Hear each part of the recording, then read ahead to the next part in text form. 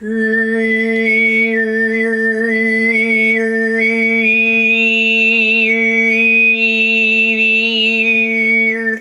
you want to learn singing songs in overtone singing?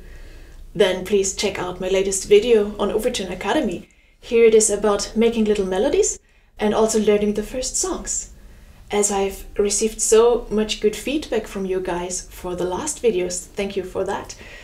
There will more content be recorded for you at a later point in time because now I am going back to working on my music. So I am working on my solo album and we have some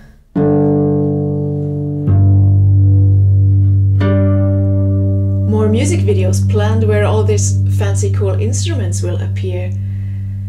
Please enjoy your practice. I'm so happy that there are already more overtone singers around in the world.